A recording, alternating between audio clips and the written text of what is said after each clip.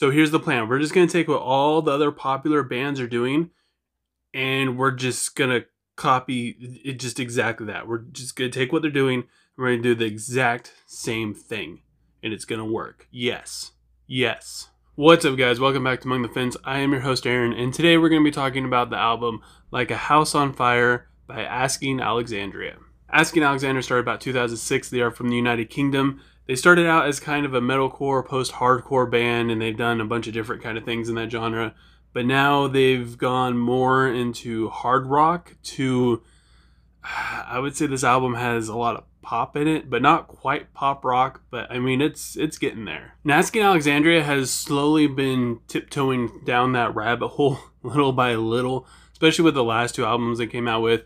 They still kind of kept that Asking Alexandria charm that they always had, that kind of edgy feel. And it just, after listening to this album, I've almost given up hope. So I want to start out talking about the first song on that album, which is the title track, Like a House on Fire, which is maybe the best song on the album. It starts out with like this kind of industrial rock kind of sound, which sounds very familiar. But as soon as the verse comes in, the whole song and the whole sound of the entire song turns into like this Maroon 5 like knockoff, especially the vocals, which are just smothered and drowned in vocal effects. The vocal effects throughout this entire album are so heavy. There's only like three songs where the vocals sound even just kind of natural. And unfortunately, listening to the instruments in this album, even those sound very, very digital. There's just not a whole lot of life going on in this album. Everything's just so drowned out by effects. The very next song, They Don't Want What We Want,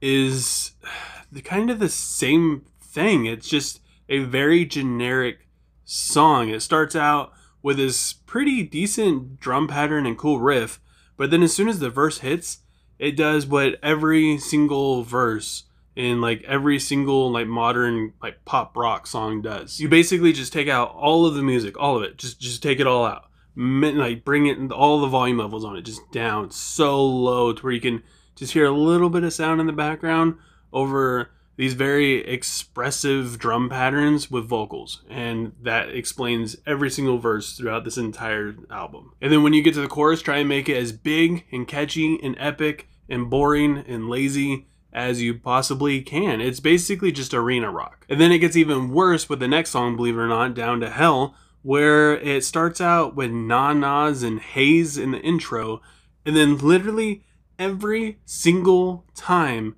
it goes like between a verse to chorus or chorus back into verse or even a bridge, it, the haze and the na-nas come back. It's in every single section. And did I mention that it also sounds like a Maroon 5 knockoff? I feel like that's the theme of this album is let's see how close to one band we can get to sounding like. And they just they, they just put up a dartboard and just threw a dart and it landed on Maroon 5. And they're like, there we go, that's it. Maroon 5 it is. Then we have the song I Don't Need You, which again is very just generic and bland and kind of boring. And it does have okay lyrics, which I will admit that this album, the lyrics in it aren't all that bad. They do have some pretty decent moments, but mixed with the vocal performance and the music in I Don't Need You, it's just another sappy rock song from the early 2000s. And I Don't Need You features Grace Grundy, who has an absolute beautiful voice, but on I Don't Need You, I mean, there's just there's zero dynamics in the entire song. So you can't even really tell like just how good she is. It's just very flat all the way across. And the song directly after it, All Due Respect, is the most appropriate song you could ever have after a sappy rock song. It's basically a song about how you guys are nothing and they are freaking awesome. I couldn't help but just laugh myself into a cringe while reading the chorus. It says, I can fly and you're gonna fall face down while I inspire greatness.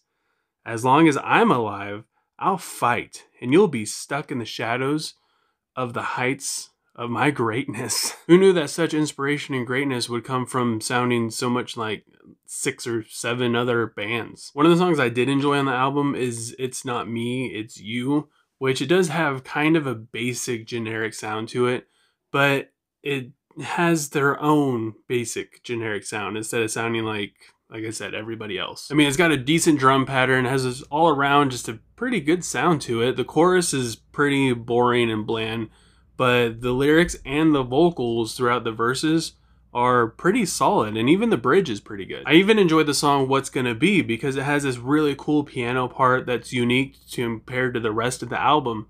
But unfortunately, it gets drowned out by this gaudy, horrible vocal effects again. And even the music for it just kind of drowns it out with all of its different effects. And the song Give You Up was also pretty good. It has a decent sounding drum pattern, decent sounding guitar riff it, the chorus was kind of annoying and the lyrics get they get pretty bad sometimes but i found myself still enjoying it. Even though the name sounds like you're about to get rickrolled and then you start reading the lyrics it definitely seems like you're about to get rickrolled. Give you up. Speaking about awkward lyrics the song takes some time which again uh, the whole song is just horrible but the lyrics in it were it tried to be sexy, I think. Maybe maybe it's a song about making love, but one of the lyrics is hot sweat love drip, which I wow. When the song In My Blood started up, I was kind of excited for it. It had a pretty good sounding guitar riff to it, but then it just got drowned out and overwhelmed by horrible vocal effects. Once again, that's also another theme of this.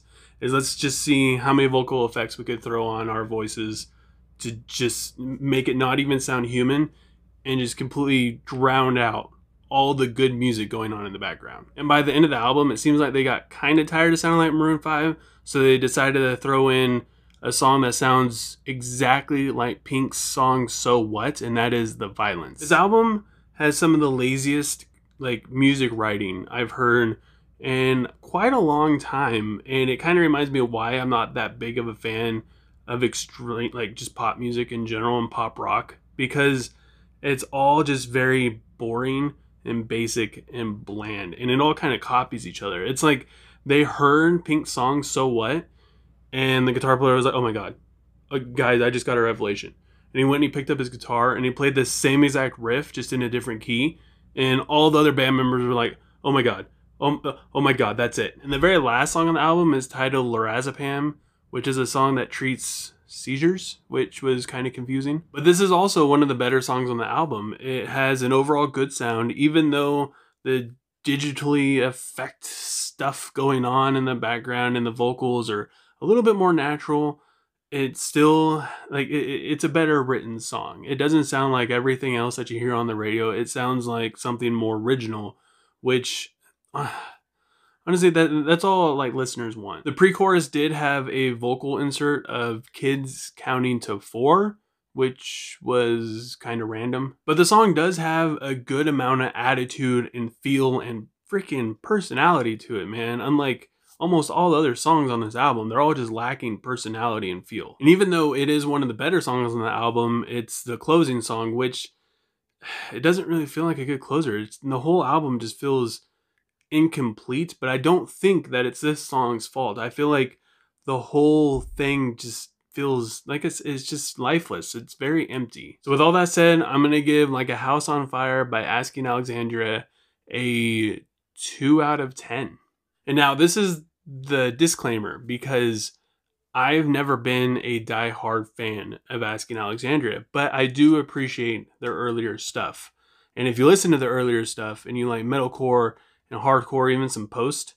It, it's it's good. It's some good music. I just re-listened to Stand Up and Scream and Reckless and Relentless again. It's been quite a while, but I listened to them and I just wish I, I wish that they progressed in a different way instead of going into like extremely mainstream sound like everything else you hear on the radio, zero personality, zero life, just void of all creativity and inspiration. I wish instead of going that route, they would have gone the route that it seemed like they were going in, where they were just making good original music. Now that I just got done pissing off probably every Asking Alexandria fan there is, I want to know what you guys think. So go ahead and leave a comment below if you've listened to Like a House on Fire. Let me know what you think. If you haven't listened to it, go ahead and give it a listen and let me know what you would rate it. And if you enjoy this album, go ahead and give it a thumbs up. If you didn't enjoy this album, go ahead and give it a thumbs down, but let me know because I am genuinely curious as to why you enjoyed this album, especially if you're an Asking Alexandria fan, because it seems so far away from what they used to be, especially from like what diehard fans enjoyed from them. So yeah, if you didn't enjoy it, just let me. Uh, I I would like to know why. And if you have any albums or singles you want me to review, go ahead and leave a comment below, letting me know what those are, and I will make it happen for you. And if you do, don't forget to subscribe and click the little bell icon. That way you get notified when I do upload videos so you don't miss out. And I hope you guys all have a good rest of your day. You're staying safe. And I will talk to you guys next time.